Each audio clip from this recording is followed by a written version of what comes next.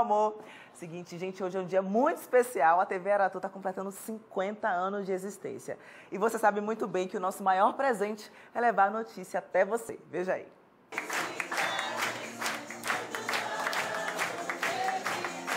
Hoje os parabéns é da TV Aratu. São 50 anos informando e entretendo milhares de baianos.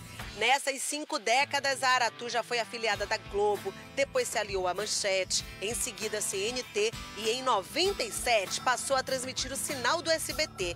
Nesse tempo foram tantas vinhetas, mas essa certamente marcou muita gente. Aratu, Canal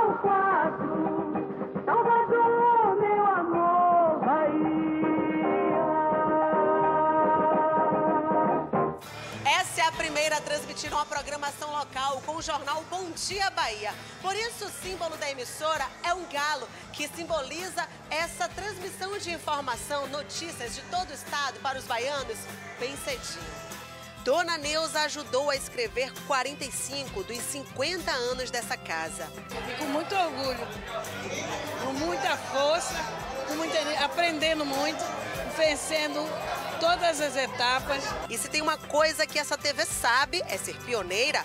Na era das redes sociais, saiu na frente mais uma vez com as lives no Facebook.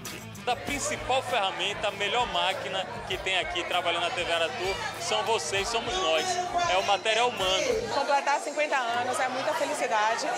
É, a gente já fica pensando nos 50 a mais. Nosso passado é lindo, a história da Aratu é linda, mas pra gente agora é pensar nos 50 pra frente. Então é, é muito legal. A expectativa da gente é que venham 50 anos ainda melhores e que a gente consiga sempre estar inovando como a gente está inovando, fazendo programas bacanas, grandes projetos como a SBT Folia, o Arraiado Galinho, a Copa do Nordeste, enfim, está sempre inovando. E para comemorar, os funcionários se uniram na empresa e celebraram a data especial. Toda a família preocupada em levar até você informação, entretenimento, mas acima de tudo com muita responsabilidade e respeito que eu a você, telespectador da